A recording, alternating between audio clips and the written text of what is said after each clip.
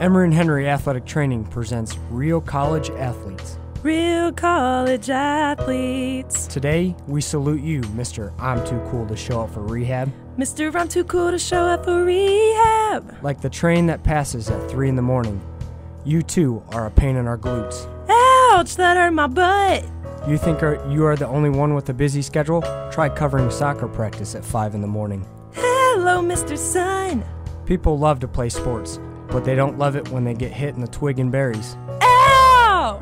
That sprained ankle, that torn hamstring, and that hangnail are all no match for the certified athletic trainer. Would you like a little aspect with that? Yet? So visit your athletic trainer today to make up the rehab that you missed this morning. Mr. I'm too cool to show up for rehab.